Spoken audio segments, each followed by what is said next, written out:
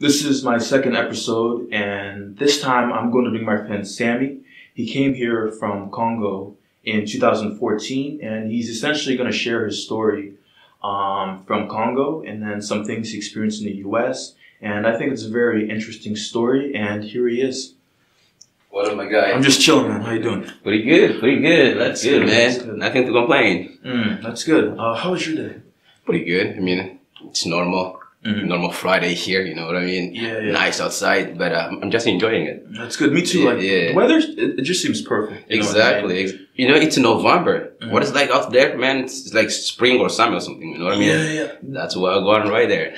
Like the weather's been so weird lately too. You know what I mean? Mhm. Warm, cold. exactly, yeah. I mean, it's New England. That's true. Yeah. I mean, that's one thing that we treasure here. Yeah. All the different weathers. Yeah. You mentioned to me earlier that you were taking a quiz. How, how was it? um, it was it was pretty easy. You know what I mean? yeah. Um, I did a lot of studying and Yeah. reading and whatnot, so I just felt very prepared for Yeah, it. that's pretty good. I mean, Mhm. yeah, that's good. I, I like to go to school being like to go take a, a quiz, being prepared. But if I'm not prepared, man, I'm gonna fail. Mm. Like I'm, I'm, I'm a type of person that like um pre like write my essay, pre write my um question so I can do better in exams. And if I don't have them, bro, it's well going. I mean, it's a good strategy, honestly. Um, it's pretty good. Um, so you you came from Congo in 2014. hmm What was the day in life actually like in Congo? Well, um, back home, like man, life in general, it's it's good. It's easy. You'll you'll always see people happy. There was not a lot of like resources, like uh, financially, like um, or no government support really. If you think about it, you were just there like on your own. And on my case, I felt it. I no, I found it easier to live back there than actually living here. Why? Like back home, you're always happy. You you like you don't have to worry about like social media. Don't have to worry about how people think about you. You know.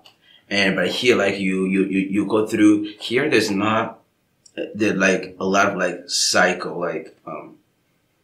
What am I trying to say? Here in in America, people like suffer not like physically but mentally and emotionally.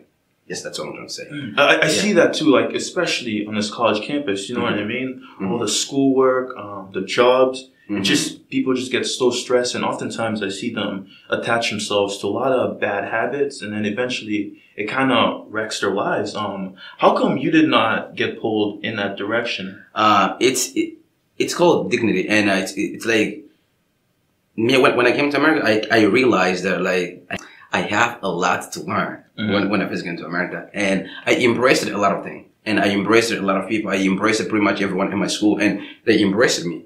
But what helped me to thrive was staying true to myself. Mhm. You know, in in this culture, it's so easy to get lost. But if you know who you are and um, what you think that God is calling you to do on this earth, you will succeed. Hmm. And that's what kept me going. So, how did you actually stay true to yourself? Like, what strategies? Yeah. So it is easier in a way. Some some sometimes people say it's harder to stay true to yourself, but I'll say it is easy. The reason is to prevent what other people think about you. To stop, to block thoughts from other people from entering your head. From because the moment you start comparing yourself to other people, that's the moment you lose yourself. The mo- your your success should not be measured by how you compare yourself to other people's success. Mm. That's how you're gonna stay true to yourself. You try and do that just about in every area. Of In yes, in every area. even on soccer, um, social life. Me and social life, bro. I'm walk on. Mm. Yeah. It must not be easy, you know what I mean? Especially like when you see your friends Mhm. just doing all these different things. Like it's tough being an outcast, and you just embrace that so easily. Yeah, I, I mean, I, I'm not saying it's not easy. It's harder, but you you have to, to think about it. Though. I came from like nothing, like not when I mean nothing, nothing. Like I was a worthless person back home in in in terms of like resources, but like beside all the the power and the and the cultural like tri- tribal like leaders that w- we had, that that was it. Uh, other than that, we were like, I was nothing. And when I came into America, there were so many opportunities like in front of me. And I should not like, um, take these opportunities for granted to go with what other people are are, are doing or are saying. Mm-hmm. So that's basically what helped me in a way. I don't know if I, I answered your question correctly or. Oh, you did like yeah. the opportunities. Yeah. Because in Congo, like, there's really not much there. I mean, the school systems. No, no, no, no, no, no, no, no. And even the government, they take advantage of civilian. Man, they take they, they do take advantage of you, really bad, which is not good because government are supposed to protect people, not to harm them, you know, mm-hmm. or not to steal from them in Haiti, we see similar issue. The presidents, yeah, they just don't really care about the people. Like if they get money to help build yeah. the cities and towns, the government oftentimes just keeps a lot of that money for themselves. The yeah. Clinton Foundation yeah. raised billions of dollars to Haiti after the earthquake, mm-hmm. and hardly any of it went to Haiti. Um, a lot of it, the president kind of kept, and the Clinton Foundation. Mm-hmm. There's a lot of fraud there too. Yeah. So presidents can really harm economies badly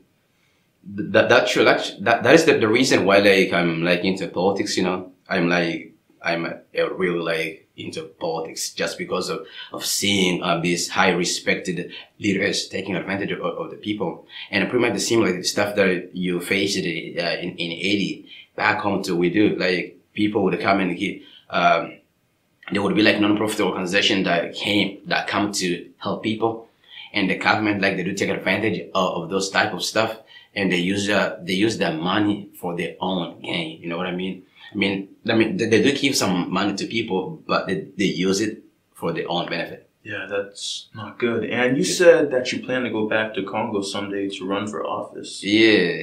that must be, I mean, that's a big goal, man. It is. I mean, it is scary, but, um, you know, it's, it's called, it's, um, dedication and ambition. Um, but, you know, I am, it, when I look myself in the mirror, like I kept telling myself that um, I am quiet for I am in a mission.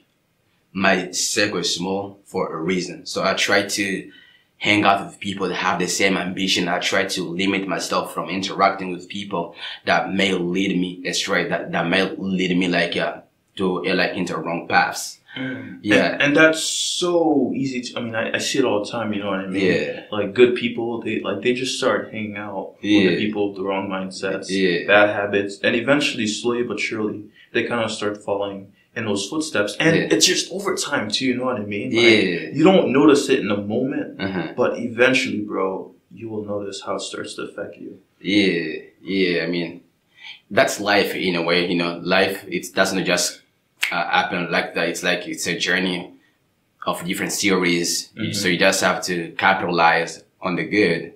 And that's what I try to do every single day. Whenever I see good, I recognize it. Whenever I, see bad, I try to avoid it. Mm-hmm. Mm-hmm. And that that's not easy because like it's everywhere, man. Like, it is, yeah. It, it's like a constant reminder in your mind mm-hmm. not to go down that path. Um, if you do not have it in your mind, like I can see how people just go down the wrong path. Mm-hmm. Mm-hmm. But coming to the US though, you did not really speak English that well.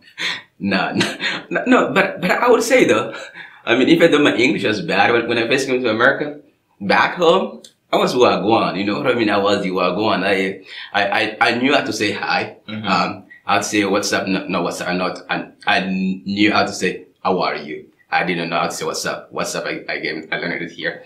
Uh, I pretty much only know like the basic English. Mm-hmm. But in the back home, that was a big deal because my, my country is a, a French speaking country. And if you can speak English, you gotta, the ladies that are like around you, you know what I mean? Mm-hmm. And by coming to America, not, not, not being able to speak English actually helped me in a way because there were always people around me.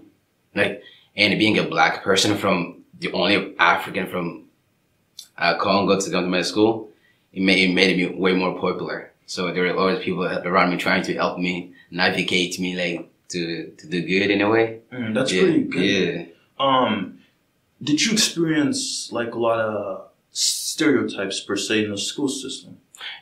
Yeah, I mean, every minority, um, they always um, feel that same that, that sense of like being casted out or being like feeling different you know mm. i mean when i came i felt that way but it was not happening or i was just being blind you know uh, me like i as i said earlier like i try to see the good on people than seeing the bad. Um, and uh, when I came, I, I, I mean, it was definitely some stereo- stereotype, but I just did not care. Mm. Yeah. I just didn't focus on it. Mm, I, I just stayed focused on my school. hmm Mhm. Wow. And doing the schoolwork, Mhm. like if your English was not that good, like how did you Uh, push through all that? Um, yeah, actually, my first my first semester, I took like seven classes. So then three of them three of them were all English, and math like math just comes natural natural to me. Like just like just like Donald Trump, I'm smart. No, you're funny guy. Uh, did you like get a lot of help at home in the school Yes. system to help you? and at school, um, I had one professor, no, one teacher, as people from high, from high school, one teacher, like he was good. He was like um, in charge of all international students, and he did help me to uh, improve my grammar, um, to, to improve my English in general, um, which was good. I mean, I spent most of my time in, in his room, and he was like a friend, like to me, right now. That's a lot of dedication, man. Because a a lot of people, man, if hmm they were in your shoes, man, they Yeah. they just would not go out of the way to understand it because it's a lot of stress. Yeah. Like, did you experience a lot of stress, like trying to adapt to the school culture and the environment? Um, no, I was always happy dancing, bro. Like I danced a lot back in, in high school. Like in every corner, you would not see me standing. That I can either I was either dancing or laughing with people. And after school, I go to do soccer field, uh, soccer practice, and I was like one of the best uh, soccer players on the pitch. Mm. And the better I do, the better, the less stress I have. Huh. So, like, how did you like deal with the stressors of the school and just the whole culture? Because it's because it's all very much different compared to Congo. Yeah, it is. Um, I mean, I was not that much stretched out like with school and stuff. I mean, I mean, there were moments where like I had I had to stay up late to actually finish my my schoolwork. But uh, when I get to school, I was always happy because I had a good like support system like around me, and that's something that I, I will be grateful forever. I mean, some of some of those guys we still talk, and some of those uh, females that we, we still talk like that helped me like to improve my, my English, which was uh, a big deal, you know.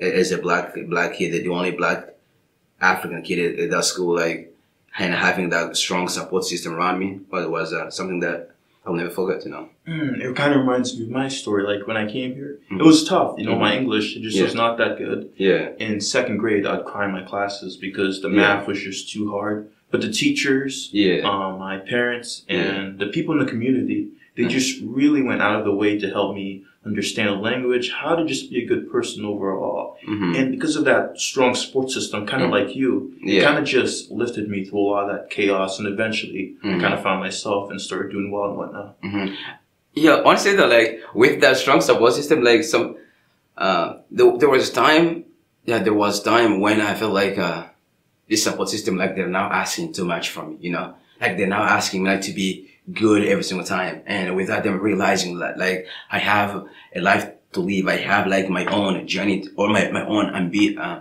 ambitious to go after. Um, no, it's ambitious, not my own ambition to go after. Um, so like, I had to be good person, good Christian. Um, stop dancing certain type of, like stop doing certain type of certain type of dance move like at school because it was a Christian school. Which I mean, it was good, but at the same time, it's not good because uh, like when you're uh, dancing, the stage is yours. You have to feel free to move your your your muscle. You know, you know what I mean. So, and once I they put like the limitation to what I can do as a dancer, it kind of like uh, slowed like my. Uh, I mean, I was not stressed about it, but just just gave me something to think about Mhm. in a way. Yeah. Because I mean, those are part of your character, and that's the thing with religion most times too. Yeah. It just can rob you of a lot of those Yeah. things. Yeah. It must not have been easy. What did you substitute in for those things to keep yourself motivated and whatnot? Uh, as far as dancing goes, or, or yeah, um, I, I kept dancing though, you know, I kept dancing, and oftentimes I did a lot of like dancing competition, like in the area around Dover area, like dancing uh, for like cash and stuff. Um, but um, I just stopped doing those like uh, that certain type of dance move at school and do their do them at home. I used to dance a lot. Mm. I, I, I should go back to dancing more. What, what kind of dancing do you do exactly? Uh, Michael Jackson type. oh, Um, really? Yeah. Um, Afro Afro vibe, like you know what I mean. The Wagwan. Mm. Yeah. Did like did you learn those dance moves yourself, or was there someone in your I family? taught them myself. That's pretty impressive. Yeah, man. like actually before I came to America, I used to listen a lot of like we used not not me. We used to listen to a lot of like American rapper. But when I came to America, I, I realized a lot of American rappers they use bad words in their songs, and that like that kind of like changed the, the entire aspects. And then I started listening to Michael Jackson.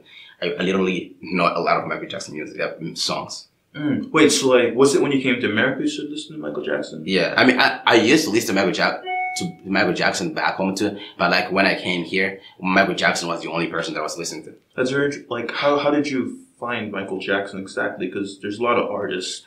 Michael Jackson is a way is the king of the pop. Mm. Like everywhere in the Congo, everyone knows Michael Jackson, and we, we, like especially when he made it the, the moonwalk dance, like everybody, we're, we're trying to do that that like that smooth wagwan moonwalk. You know, it's funny. Like in Haiti, in the Yeah. orphanage where I was, like Yeah. we knew Michael Jackson too. Like we actually watched movies with Michael Jackson and and him dancing. Yeah, It, it, just really shows you how pow- powerful of a character he is. yeah. I mean, bro, like I don't.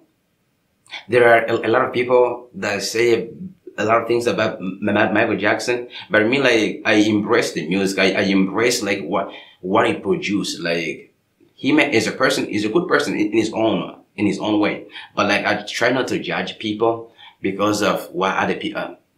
I try not to judge other people by what the media is saying. So I try to embrace what people offers to the world. You know, he, Mhm. he did offer a lot of knowledge in his music, a lot of like thoughtful like, and his dance move, bro, they're cool. That's the only word I can describe them. Mm.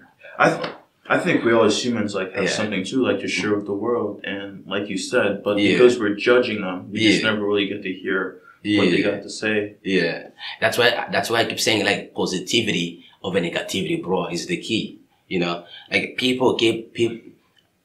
Understand that things happen, but when we keep spreading negativity, how far will that take us?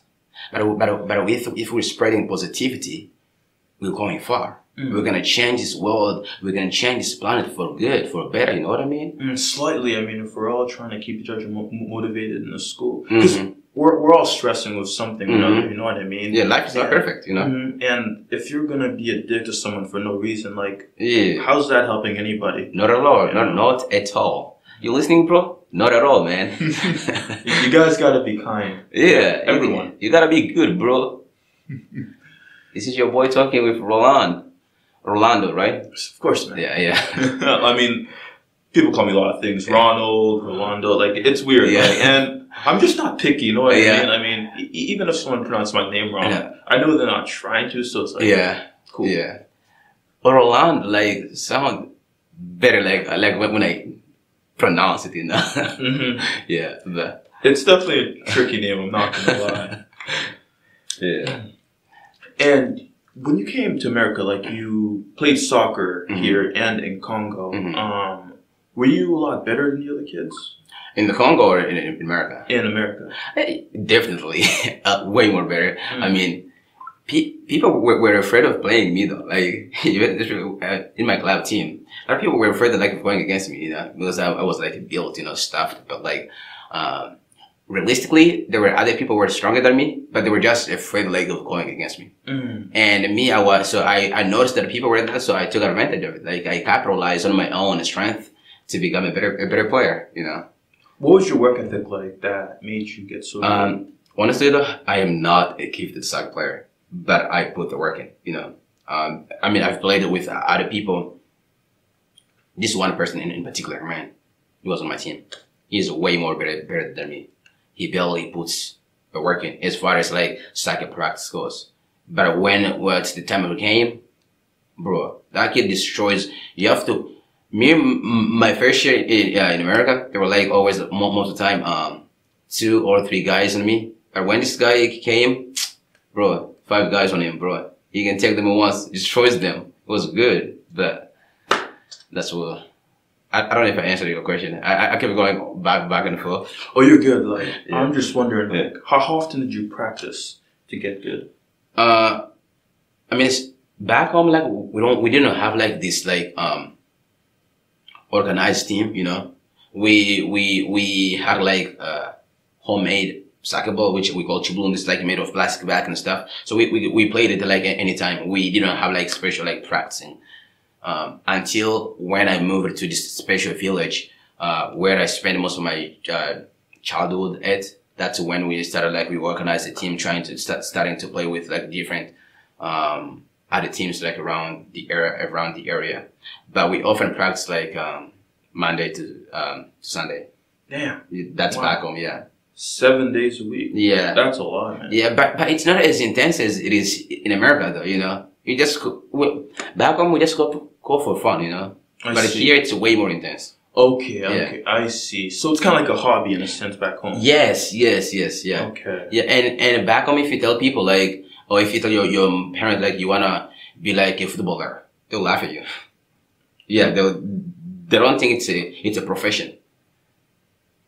That's very interesting. Yeah, they they they rather a lot of African parents, especially those from villages area, they rather have you uh, go to school and become a teacher or Mhm. become like a um, journalist. Mhm, Or a doctor, things of Yeah. that nature. Um, like in the village, barely, but in the city, yeah, they want you to become a doctor. But like in the village, people don't have like the, the financial need, like they can uh, uh, afford for like uh, to finish like doctor or at at, uh, at the medicine.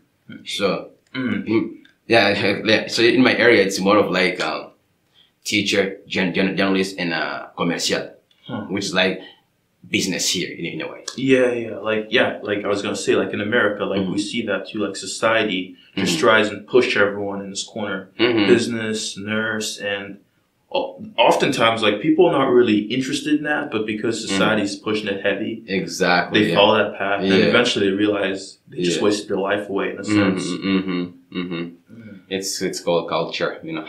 Mm. Yeah. You you don't feel pressured by the societal norms, do you? Um. No. No. No. You know, me. I, I believe that every country and every culture has its own good, no, has the good and the bad, you know. But uh, you just have to choose what's the good for you. Is this good for you? If, if it is good for you, you, you go with what your culture is saying. But if it's not, choose another way, you know. Life is not just about this and this. There is another way in between. Mhm. That, that's what I'm always trying to, to do. Try to choose what is good for me. Mm-hmm. Did someone like kind of push you towards that mindset, or did you kind of cultivate it yourself? Um, I would say life experience. You know, I mean, growing up in Africa, it's not easy. You, you, you have to stand up for yourself. And if you like, if I, if I do let myself to go with what I, my culture is saying, if I do let myself to go with what other people are saying, that will lead me nowhere. If I want to make a difference, I need to stand up for what is right. Oftentimes, for, for example, like when the police do come in the village to arrest somebody, the chief do benefit from it. And there's often a police, they come, he- they're like with a mindset like of taking whatever that person has. And we, we don't want it. Like me as, as a Boy Scout, I noticed that that was wrong. So we started like, uh, like being like activists Mm-hmm. in a way, trying to, to eliminate the bad, you know? So that's, but I'm getting back, I'm going back and forth, you know? I, don't- I don't know why. Oh, oh, you're, you're good, man. No, no one's Yeah. judging. Yeah. But I mean, uh, it's not easy. You know what Yeah. I mean? Like law enforcement, like trying to go against them, it's tough. Like you need a lot of support. Yeah, You know, yeah. and if and if you don't have that, it's, Yeah. you're gonna fail most of the times. Mm-hmm, mm-hmm. Your story is just very interesting. You know what I mean? Like you come here, like no English, and you Mhm. learn the language, and you actually said you speak like five to six, six, six languages. Yeah, I, I just speak English was my fifth. Okay. Back home, if I if I were to rank them, I would say Chiluba French, Lingala, or, or, or in Australia, Lingala they're probably in the same uh, line, um, and English. But now, like I would rank English as third or like uh, second, just because like since I've been here, I barely speak other different languages, so like I end up like losing a lot. Mhm. But uh, I, I still believe that whenever, with the moment that I go back home and start just speaking those languages, I'll pick them just like that. Yeah, yeah, like well, because the environment. I mean, if Mhm. there's only one language going on, it's gonna obviously Yeah, try yeah, and shut the rest out. yeah. But that's just so impressive, man. Like five Thank you. languages. Thank you. Yeah, I, I want to learn Chinese though. I want to learn Chinese and, and, Spanish. Yeah, yeah. What is your process like that helps you learn those languages? So, Um, it, no, it- it's pretty much like being consistent. Like you have to, you know, me like when I learn language, I I have to set a time where I can go in the room myself to just talk. You know, repeat those words like out loud. Like when you don't say them out loud, you don't know like if you actually um, if you actually know it or if you don't. So it's better to practice it out loud by yourself. how many times a week would you actually practice? like when I started learning English was pretty much every day. Yeah, I was always like, um, I, I often go in, in my room to just practice like out loud talking to myself. For a few hours or like half an Um, hour? There's not, I didn't have like a set like amount of hours because I were playing music here, dancing, then pause to just talk English. So, so I would not like, and often that, that, like that activity of talking and dancing often took me like an hour or an hour and a half. It depends on the day. Mm. Yeah. Wow. With all the things happening in your life, Yeah. um, the dancing, the learning the language, hmm the soccer, um, that's a lot of stress, you know what I mean? Yeah. It's so many things to Yeah. juggle. Mhm. Did you like find yourself having to turn to like heavy substances to try and cope with all that? Um, no, no, no, no, no. I mean, I came from a good like religious background, and the school that I was going to was pretty like strict, like on what should be allowed uh, for the stu- student to do, and that mindset to just carry on. And I never done drugs. I, I do believe like the joy of the Lord is my strength. You know, that's where I get all my strength, like to do what I do, even though even when I'm I'm stressed, I'm stressful. As long I recognize that that the joy of the Lord is my, my strength, I will be able to overcome that stress. You know. God's your tribe in a sense. Ye- yes, yes, I'm glad that works for you, man. yeah. Thank you. Yeah, I mean, yeah. Do you pray like every day in a sense? Um, I used to a lot. Uh, I mean, now being in college, you know, you there's so much going on in college. You know, you gotta, you gotta. I'm, I'm I'm not gonna sit, sit here, sit here and lie to you, but uh, I have not been praying as much as as I, as I should. But um, it's just something that I'm working on, you know. And at my age right now, I'm like trying to find myself Mhm. in the world, you know, to be a better citizen of not just of Christian community, but like of all other religion and uh, the better citizen, citizen of the world, you know. I mean, God is first in my life, but I still wanted to be a good person to other people too, you know. I agree. I agree. Yeah. And sometimes, and that happens too. You know what I mean? Mhm. Like you're not gonna always be juggling ten balls. hmm At some point, you gotta let one drop and just keep Yeah, finding yourself. working on it. Mm, but it was Yeah. this. It was definitely good talking to you, man. Yeah, I good- appreciate Yeah, you. yeah, Treat it, man. Yeah, that's what's up, boss. Yeah, next time we'll, do- we'll do good. For sure. Yeah. Um, that was the end of the interview. I hope you guys enjoyed it, and there will be future ones to come. Yeah, yeah, yeah, yeah. You gotta listen. You know what I mean? That's what's up. That's your boy here in Semi T. Uh,